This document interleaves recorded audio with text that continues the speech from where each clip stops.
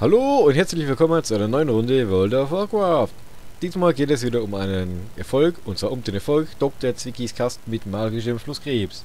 Angelt euch bis zu Dr. Zwickis Kasten mit magischem Flusskrebs durch. Und woher bekommt man jetzt diesen Kasten vom Dr. Zwicki?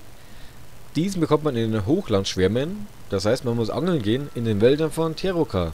Und zwar am besten in Skettis, im See, oberhalb der Steinbrecherfeste.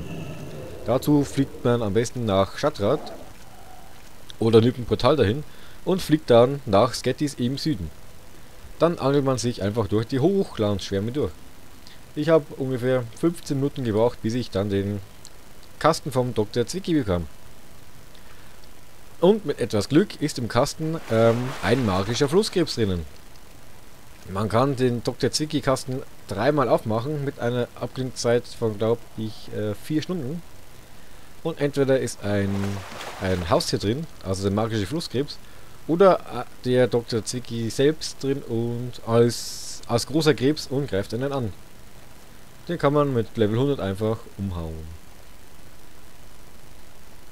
Genau. Das war's eigentlich. Und ich hoffe, ihr habt gleich beim ersten Mal Glück beim Öffnen und ihr haltet ein neues Haustier.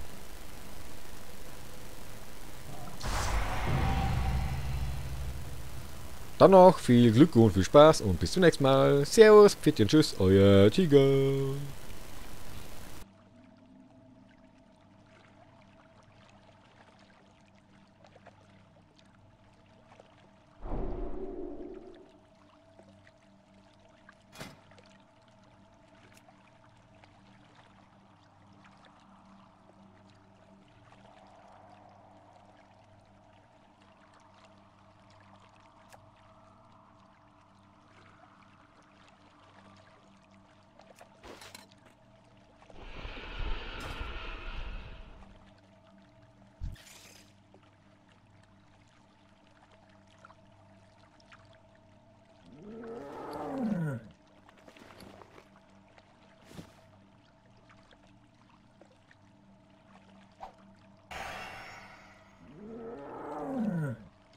Ich kann diesen Gegenstand noch nicht benutzen.